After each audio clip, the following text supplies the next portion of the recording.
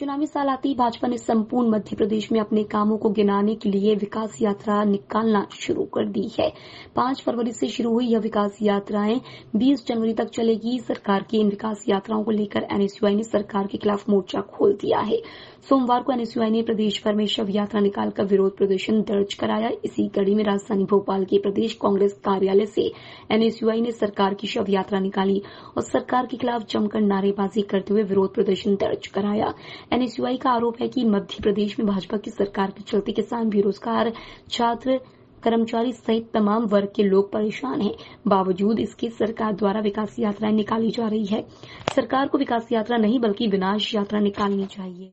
जनता party विकास यात्रा पूरे प्रदेश में निकालने का काम कर रही है। मध्य प्रदेश एनएसयूआई आज पूरे प्रदेश में उस विकास की शव यात्रा निकालने का काम कर रही है। एनएसयूआई का ये स्पष्ट सवाल है कि भारतीय जनता पार्टी किस बात की विकास यात्रा निकाल रही है? जबकि पूरे प्रदेश में लाखों युवा, जिनको छात्रवृत्ति नहीं मिल रही है, लाखों छात्र जिनको छात्रवृत्ति नहीं मिल रही है, महाविद्यालयों में विद्यालयों में जाके देखेंगे तो आप परमानेंट शिक्षक नहीं है।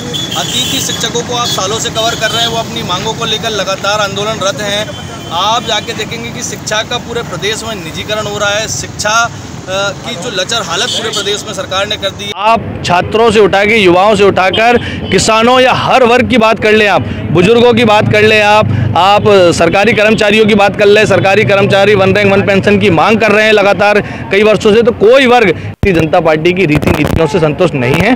भारतीय जनता पार्टी को विकास नहीं, विनाश यात्रा निकालने की आवश्यकता है। और जो मुख्यमंत्री झूठा पुलिंदा विकास का लेके घूमते हैं, उस विकास की पूरे प्रदेश में मध्य प्रदेश, एनएसयूआई ने आज शव यात्रा निकालने का वीडियो जर्नलिस्ट देवेंद्र माली के साथ हेमंत माली की रिपोर्ट।